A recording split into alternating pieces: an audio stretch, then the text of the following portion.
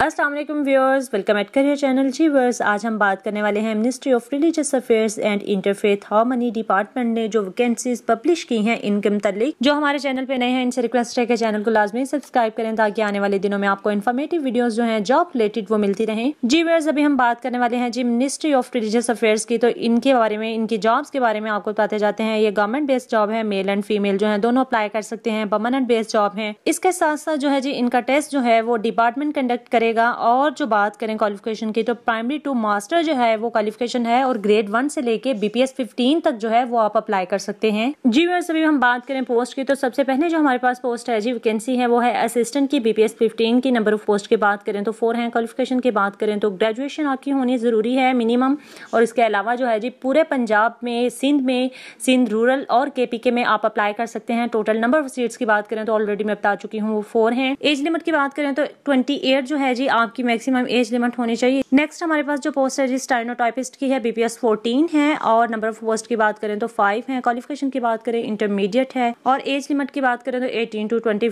है। इसी तरह से यूडीसी की पोस्ट है बीपीएस अलेवन की नंबर ऑफ़ पोस्ट की बात करें तो दो है। क्वालिफिकेशन जो है जी, वो भी इसमें इंटरमीडिएट है और इस पे जो है जी, पंजाब और केपी के वाले अप्लाई कर सकते हैं और इसके अलावा एज लिमिट की बात करें तो ट्वेंटी जो है जी, वो एज लिमिट है। जी बस नेक्स्ट हमारे पास पोस्ट है जी एल की बीपीएस नाइन है नंबर ऑफ़ पोस्ट की बात करें तो सिक्स है क्वालिफिकेशन की बात करें तो मैट्रिक है, पंजाब के पी के और सिंध रूरल जो है फाटा वाले भी अप्लाई कर सकते हैं। नेक्स्ट हमारे पास जो पोस्ट है जी ड्राइवर की है बीपीएस फोर की और इसमें सीट की बात करें तो एक ही है और क्वालिफिकेशन की बात करें तो प्राइमरी होनी चाहिए और इसके साथ साथ जो है जी, आपके पास ड्राइविंग लाइसेंस होना चाहिए और इस पे केपी के वाले अप्लाई कर सकते हैं। नेक्स्ट हमारे पास है डीएमओ की बीपीएस फोर और इसके अलावा क्वालिफिकेशन की बात करें तो प्राइमरी पास है नंबर ऑफ़ सीट की बात करें तो एक ही है मेरिट पे आप कोई भी अप्लाई कर सकते हैं। जी बस नेक्स्ट हमारे पास जो है नाइब कासिद की पोस्ट है और स्केल की बात करें तो वन है और नंबर ऑफ़ कैंसिस की बात करें तो टोटल टेन है। क्वालिफिकेशन की बात करें प्राइमरी आपकी क्वालिफिकेशन होनी चाहिए। लोकल बेसिस जो है, वो पाँच सीट्स हैं, यानी कि सक्कर वाले जो है, वो स्पेशली अप्लाई करें। यहाँ पे एक और चीज़ मैं आपको बताते चलूँ की इसमें पाँच सीट्स जो है ना प्योरली वो रिज़र्व है लोकल बेसिस पे, यानी कि सक्खर की है। डिसेबल कोटा भी है इसमें वन परसेंट यानी कि एक सीट जो है, वो डिसेबल कोटा की भी है। मेरिट की बात करें तो फोर सीट जो है ना, वो मेरिट में है। जी बस नेक्स्ट हमारे पास है फ्रॉज बीपीएस वन और सीट भी इसकी एक ही है। प्राइमरी पास क्वालिफिकेशन होनी चाहिए, सिर्फ़ सक्कर वाले अप्लाई कर सकते हैं और इसके अलावा सैनिटरी वर्कर की है बीपीएस वन और टोटल टू सीट्स हैं प्राइमरी पास क्वालिफिकेशन है। ये भी जो है जी, आप लोकल बेसिस पे अप्लाई कर सकते हैं। अब आपने अप्लाई कैसे करना है, ये भी आपको बताते जाते हैं। आपने गूगल में जाना है टाइप करना है डब्ल्यू